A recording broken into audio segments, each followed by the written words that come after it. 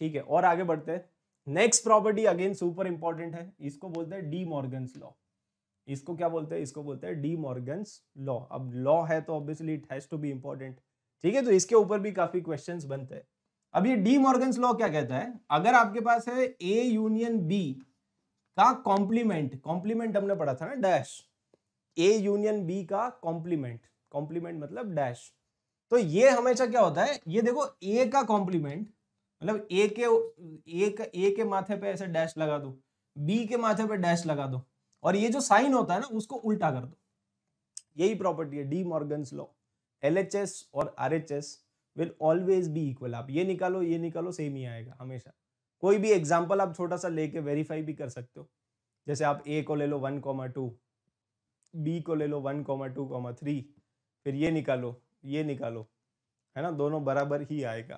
ठीक है? तो ये है De Morgan's law De Morgan's law अच्छा सिमिलरली लेट से अगर हमारे पास है ए इंटरसेक्शन बी का होल कॉम्प्लीमेंट यहाँ पे क्या आएगा? ए का कॉम्प्लीमेंट बी का कॉम्प्लीमेंट और यहाँ पे बीच में जो भी सिंबल है, उसको आप उल्टा कर दोगे।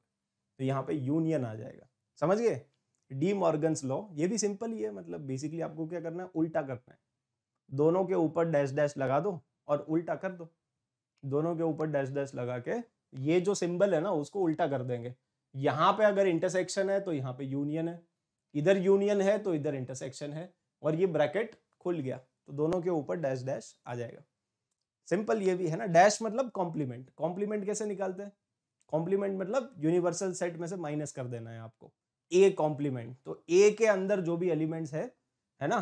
मतलब ए कॉम्प्लीमेंट मतलब जो एलिमेंट्स ए के अंदर नहीं है। अरे यार, ऐसे होता है ना? लेट से फॉर एग्जांपल ए ए आपका है वन टू थ्री और लेट से यूनिवर्सल सेट है one two three four five ठीक है? ये यूनिवर्सल सेट है। तो ए कॉम्प्लीमेंट क्या आएगा? ए कॉम्प्लीमेंट मतलब जो भी एलिमेंट्स ए में नहीं है। तो ए में कौन कौन नहीं है? फोर नहीं है और फाइव नहीं है। तो बस ये ए कॉम्प्लीमेंट है।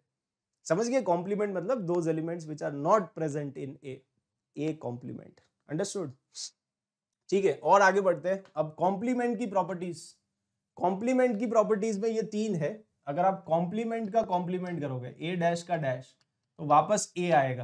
पहली प्रॉपर्टी तो ये है। ठीक है डैश का डैश तो वापस क्या आ जाएगा? वापस यहीं से देख लो ना आप। ये ए डैश है। अब ए डैश का डैश है ना? कौन से एलिमेंट्स है जो इसमें नहीं प्रेजेंट है? ए डैश में। ए डैश का डैश तो कौन कौन से एलिमेंट्स है जो इसमें प्रेजेंट नहीं है? वन टू और थ्री तो वापस आ गया ना? यही तो आ गया, वापस। ठीक है? एक बार आप डैश करोगे तो फोर फाइव आ जाएगा। फिर वापस आपने डैश कर दिया। मतलब कौन से एलिमेंट्स है जो ए डैश में प्रेजेंट नहीं है? तो ए वाले वन टू और थ्री समझ गए? डैश का डैश तो वापस आ जाएगा ए अच्छा ए और ए डैश का जो इंटरसेक्शन होगा, वो कुछ नहीं आएगा। ऑब्वियसली बात है, आप देखो ना, इधर वन टू थ्री है। और इधर फोर फाइव है तो दोनों का इंटरसेक्शन कभी आएगा ही नहीं। उसका तो डेफिनेशन ही यही है ना कि भाई जो भी एलिमेंट्स ए में नहीं प्रेजेंट है, वही आप ए डैश में डालोगे। ठीक है तो इंटरसेक्शन कुछ नहीं आएगा, लेकिन यूनियन अगर इन दोनों का यूनियन कर दिया जाए ए और ए डैश का तो यूनिवर्सल सेट आ जाएगा। ठीक है अगेन मतलब ऑब्वियसली बात है, क्योंकि जो ए में है, वो ए डैश में नहीं है, और जो ए डैश में है, वो ए में नहीं है तो सब मिला के क्या बनेगा? दोनों को अगर मिला दिया जाए तो यूनिवर्सल सेट बन जाएगा। ठीक है? यस इसमें किसी को कोई दिक्कत है तो बोलो। ठीक है? इसमें किसी को कोई दिक्कत? Yes share the chapter schedule हाँ वो मिल जाएगा मिल जाएगा। अरे, तुम इतना क्यों टाइम स्पैम कर रहे हो? ठीक है? यस अभी क्या वो पावर कट हो गया था ना तो मेरा लैपटॉप भी बंद हो गया है तो फ़ोन में देखना पड़ रहा है चैट तो जो भी चैट्स है, थोड़ा कंट्रोल आगे बढ़ते हैं, ठीक है? चलो एक क्वेश्चन करते हैं. ये क्वेश्चन का आंसर बताओ. है ना? ये सब लोग एक बार ट्राई करो और देखो कि ये होता है कि नहीं. यस जल्दी से इसका आंसर बताओ फटाफट. देखते हैं कौन कौन बता पाता है है ना? एकदम फास्ट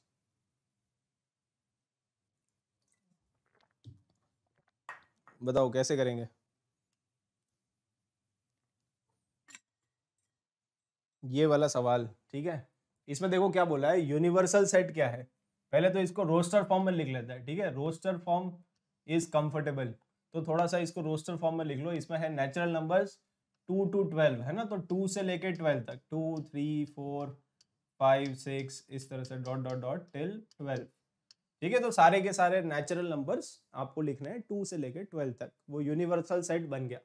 उसके बाद ए तो ए में क्या है? ए इज़ इवन प्राइम अच्छा इवन प्राइम तो एक ही होता है टू है ना? Two is the only even prime even prime number कौन सा होता है? एक ही तो होता है टू ठीक है, उसके बाद बी क्या है? तो बी में अगर आप देखोगे तो x is the factor of twelve तो ट्वेल्व के फैक्टर्स कौन कौन से है? ट्वेल्व के फैक्टर अब ट्वेल्व का फैक्टर वैसे वन भी होता है, लेकिन वन तो देखो यूनिवर्सल सेट में ही नहीं है। है ना? वन यूनिवर्सल सेट में है क्या? वन यूनिवर्सल सेट में नहीं है। तो क्या हम इसमें वन डालेंगे? भाई, जो यूनिवर्सल में ही नहीं है, वो हम इसमें कैसे डाल सकते हैं? ठीक है तो वन से नहीं, हम टू से स्टार्ट करेंगे। टू थ्री फोर सिक्स और ट्वेल्व ये सारे नंबर्स आएँगे, है ना? बेसिकली आपको बोला है फैक्टर्स ऑफ़ ट्वेल्व तो ट्वेल्व के कौन कौन से फैक्टर्स होते हैं? है ना? यही होते हैं टू थ्री फोर सिक्स और ट्वेल्व तो ये ए आ गया बी आ गया यूनिवर्सल भी आ गया। अब एक एक करके सारे ऑप्शंस चेक करो। है ना? सबसे पहला जो ऑप्शन है ऑप्शन ए ऑप्शन ए में आपको निकालना है A minus B A minus B निकालो एक बार। ए माइनस बी मतलब जो पहला वाला सेट है, उसमें से आपको कॉमन एलिमेंट्स डिलीट करने पड़ेंगे।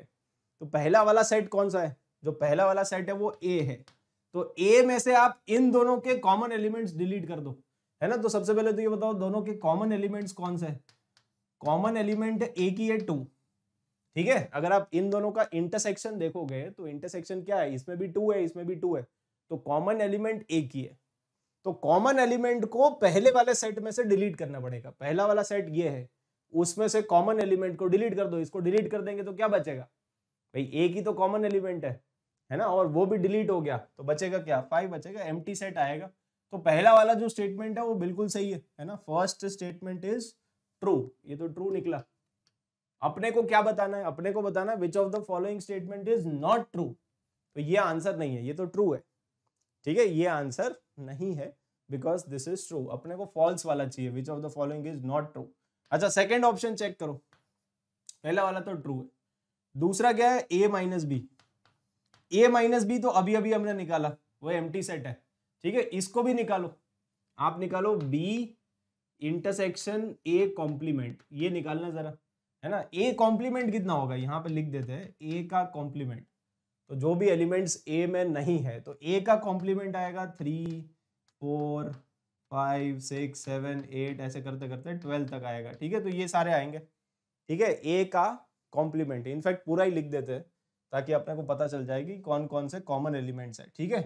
तो basically three four five six seven eight nine ten eleven और ट्वेल्व ये ए का कॉम्प्लीमेंट है।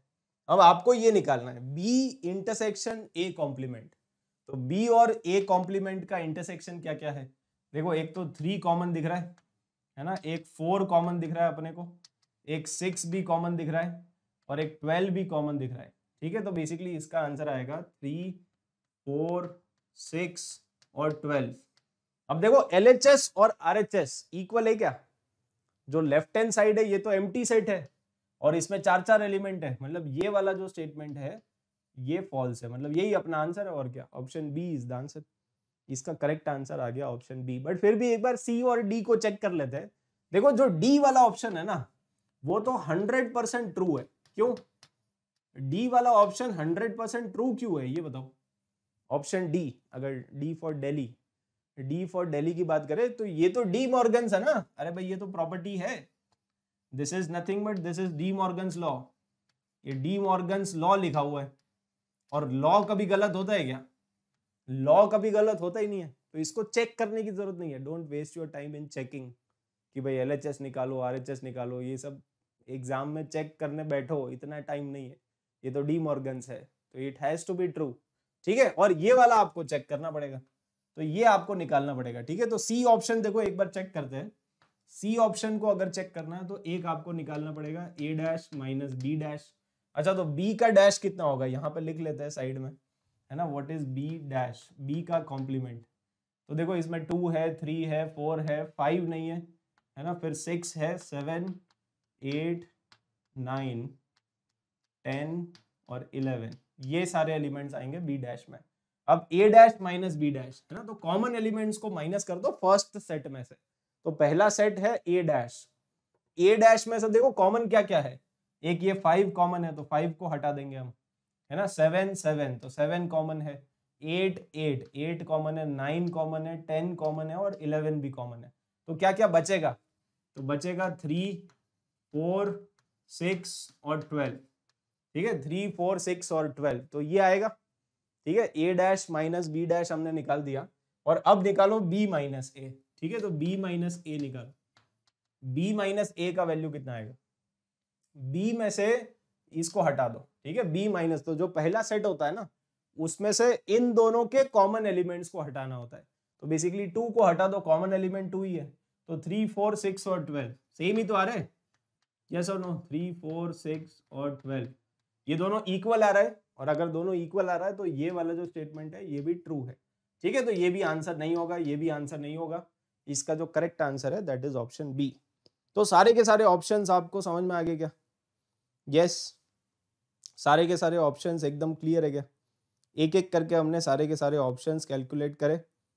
ठीक है? और फिर फाइनली ऑप्शन बी जो है वो, उसमें L H S is not equal to R H S वो गलत है basically Unacademy let's crack it.